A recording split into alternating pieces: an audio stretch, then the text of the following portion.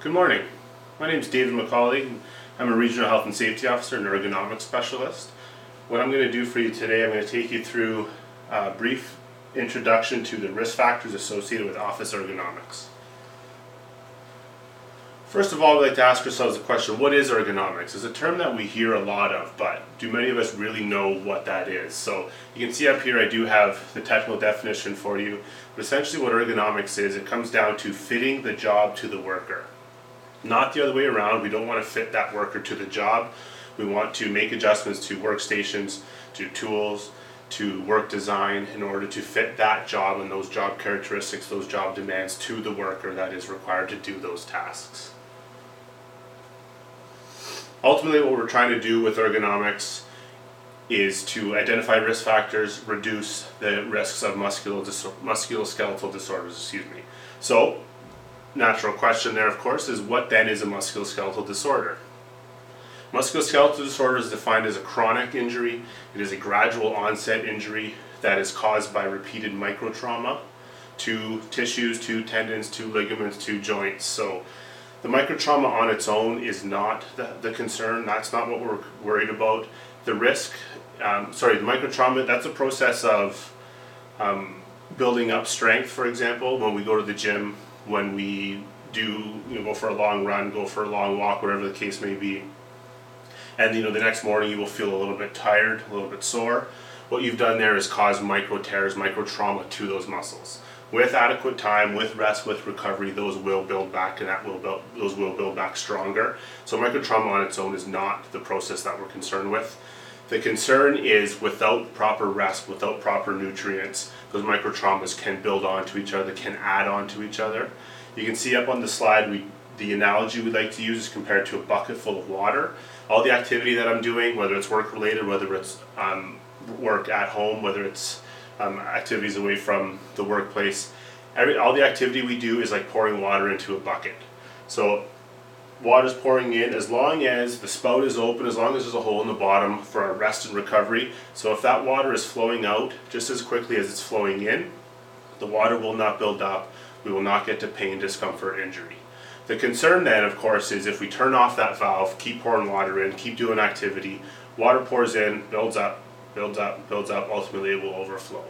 So to compare that to musculoskeletal disorders and the effect on the body, if we keep causing these microtraumas without proper rest, without proper recovery, microtrauma builds onto each other, adds up, adds up, adds up.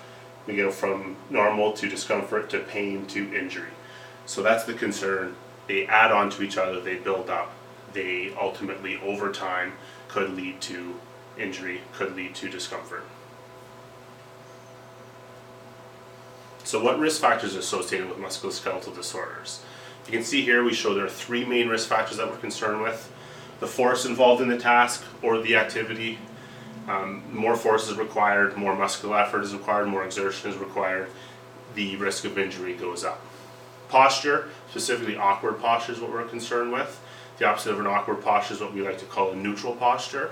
So a neutral posture, for example, head facing forward, ears in line with the shoulders, shoulders down and back, slight inward curve in my low back, hands down at my side, feet roughly shoulder width apart. It's the natural, normal, comfortable stance of the body, of the, the body joint, the natural position that it likes to fall down to.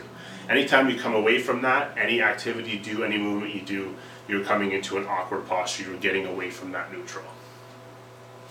Third risk factor we're concerned with is the repetition or the duration. So, of course, how often you are doing an activity and how long that activity takes. As that increases, so does your chance of injury. Important to note that these three can be present at the same time, and they are they do have a cumulative effect. They will build onto each other as well. So some of the signs and symptoms associated with musculoskeletal disorders, signs being things that you can see, symptoms being what you can feel swelling and inflammation. You often may feel a burning sensation, the areas being warm to the touch. You could have a decreased range of motion, decreased uh, mobility, like limping, for example, redness, stiffness, muscle weakness, decreased strength. All these may be an indication that there is something going on. It's your body's signal to say there's something happening here, there is a concern, there's a risk, there's something you're doing that is not quite in line with how it should be done And that is the indication to make the change now, make the adjustments now so that these micro traumas, these um, risk factors do not add onto each other, do not build up. So when we take it down to an office environment, the risks may not be as obvious as um, apparent as in a factory, for example, or out on the uh, work floor. But they're there definitely. Some of the big ones, the musculoskeletal disorders that we're concerned with in an office environment are hand and wrist tendonitis, carpal tunnel syndrome, low back pain, neck strain, epicondylitis, or tennis elbow or golf, golfer's elbow. Some of those are the common ones that we see. Biggest concern here, biggest risk factors is associated with a prolonged sitting at a, a desk especially if you're not sitting in the correct posture. So we will talk about that a little bit. You know, it basically comes down to the human body was not meant to be sitting down for eight hours a day. We are not designed that way. We are not. It was never intended for us to be doing that. So when we put ourselves in an awkward posture in a position that we're not meant to do, and we do it for a prolonged period of time, these issues add up. These things um, compound, and they do. They tend to get worse with time if we don't make the adjustments necessary. Okay, so neutral posture I've mentioned. Describe it's a body position where the muscles and skeleton are aligned. So it's like I mentioned before, the natural, neutral, comfortable position of that body. So when it comes to a sitting position, the neutral posture for sitting we will discuss. Well, I'll show you neutral posture for sitting. Basically, feet flat on the floor, knees at a roughly 80 to 100 degree angle Hips, roughly 90 degrees, can be a little bit more open than that. Elbows at about 90 degrees, shoulders down and back. You're sitting back in your chair. Everything is in line, looking straight ahead at your monitor. You can reach your keyboard and mouse within easy reach or easy reach envelope. It's a natural position, it's a little bit more comfortable for you. Important to know that no position is going to be perfect. You do need to vary postures, you do need to get up as often as you can, you do, need to switch around so you're not standing all day or you're not sitting all day because both of them have risks, both of them have advantages, so you do need to vary between all those activities, all those postures.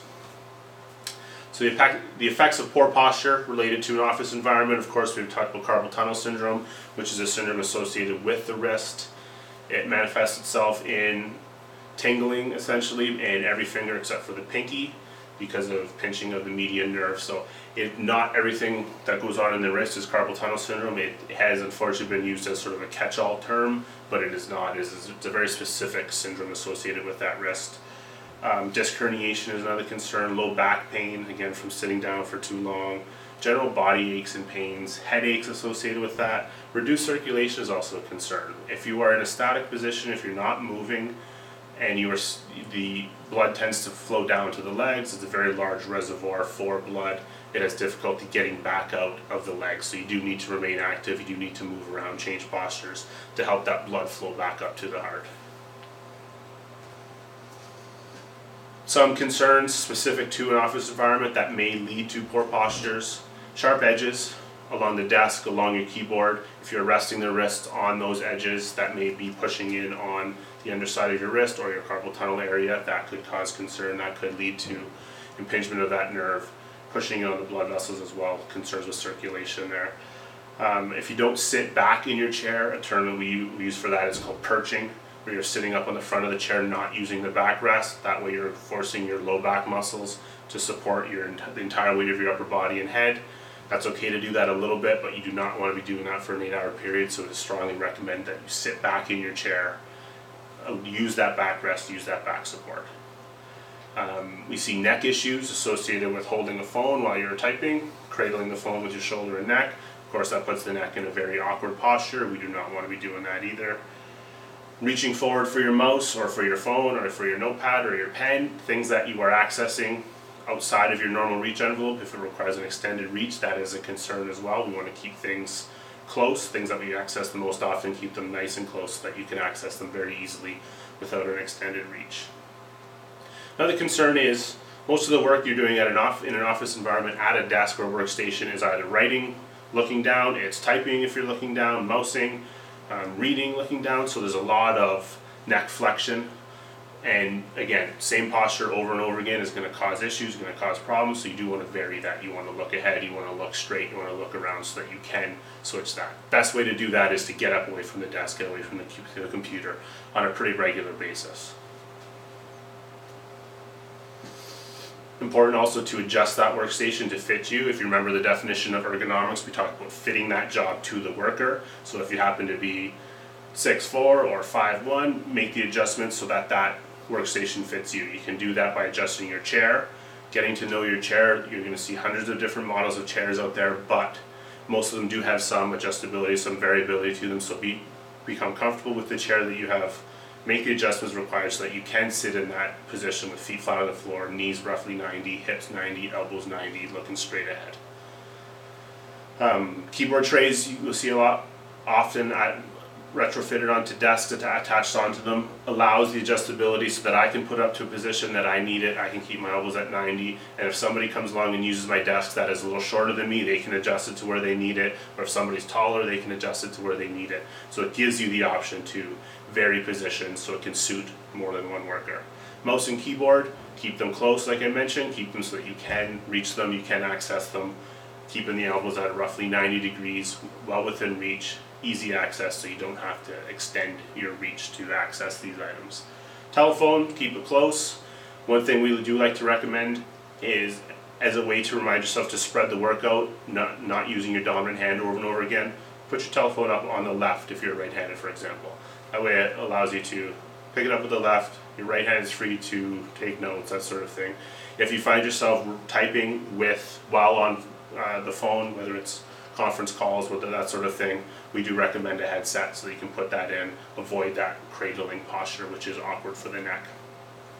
And the desk height itself, um, you want to be able to reach it properly, you want to be able to access it with a 90 degree elbow angle. That may require some height adjustment to it. There are new desks out that do have a, a variable height, sit stand desks we call them, very easy to do. Otherwise, you may need to make some adjustments, some manual adjustments to your desk to make the adjustment necessary to get it up to the height that you need so you can access it so that it suits you properly. So, once you've made the adjustments, once you've taken a look at your workstation and your desk, you should be sure that your shoulders are down and- back. You are sitting back in your chair, your armrests are supported, your elbows at about 90 degrees. You can access your keyboard, your mouse, your phone, your pad very easily. You are sitting back in your chair, hips at roughly 90 degrees, knees at roughly 90, feet flat on the floor or on a footrest if that's required. Um, the top of your, your monitor should be roughly eye height or slightly lower if required. Bifocals may change this. Distance of the monitor is roughly arm length away. Again, corrective eyewear may change that as well, so make the adjustments as long as you can see that monitor properly without leaning forward. Or you may need to play with your font, play with font, size and that sort of thing so that you can see it properly, you can see it without excessive leaning forward. The Screen should be directly in front of you so that you don't need to twist the neck in order to see it. You don't need to look up or down to see it, it's straight in front. And you should have some clearance under your workstation. It's not meant for storage. You should have the adequate leg room so that you are not jamming your legs up under a desk or up against boxes or storage or shoes or whatever it happens to be. So make sure you do have the adequate clearance required. And again, most importantly, even when the desk is set to you, chair is set to you, make sure you get up, get away from the desk, change your posture as often as you can. Thank you.